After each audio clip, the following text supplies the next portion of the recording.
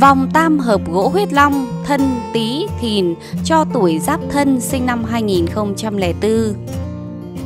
Vòng tam hợp gỗ huyết long thân Tý Thìn là vật phẩm hộ thân, trang sức đeo tay, giúp chiêu cát lành, chiêu vận quý nhân, hộ thân tăng cường sức khỏe, chiêu tài hóa giải thị phi, tiểu nhân quấy phá, kỵ tà, hóa sát cho tuổi Giáp Thân sinh năm 2004 Vòng được thiết kế dựa trên bộ tam hợp quý thần, thân tý, thìn, tam hợp mộc cục có tác dụng tăng cường vận khí, đem lại may mắn, tài lộc, sức khỏe và sự hòa hợp cho gia chủ, dựa vào sự quý hiếm và tác dụng phong thủy tốt của gỗ huyết long, kết hợp khéo léo với ba viên đá mã não đỏ, mang lại sự sang trọng, quý phái cho người sử dụng.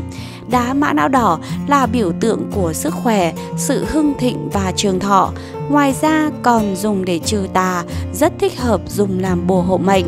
Trên mặt đá sử dụng mực vàng thần tài, có hình ảnh bộ ba linh vật, thân tí thìn có tác dụng bổ trợ thân mệnh cho gia chủ kích tài nạp phúc tăng cường hòa hợp thiên địa nhân hợp nhất gỗ huyết long được gắn với cái tên là gỗ đế vương bởi loại gỗ này thường được sử dụng trong cung điện của vua chúa ngày xưa trong phong thủy, gỗ huyết long thường được các thầy sử dụng nhiều bởi tính chất trừ tà, giảm tai ương cho người sử dụng. Vòng tam hợp gỗ huyết long thân tí thìn được sử dụng làm vật phẩm hộ thân, chiêu quý nhân, hóa giải thị phi, tiểu nhân hãm hại và là vật phẩm phong thủy cực kỳ hiệu quả trong việc kích tài lộc cho gia chủ. Ngoài ra, để tăng cường thêm cát khí, đem lại may mắn, gia chủ có thể kết hợp sử dụng thẻ kim bài ngũ lộ thần tài đặt trong ví, trong túi sách, sau ốp điện thoại, luôn mang bên mình để giúp khai vận, mở cung tài lộc, đem lại may mắn.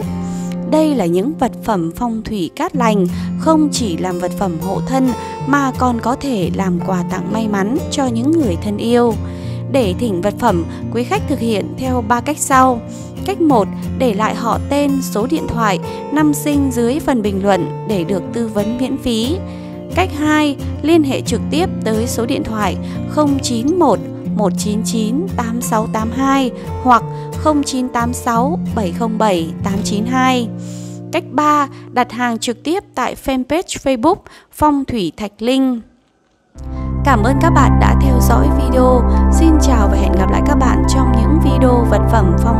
Theo.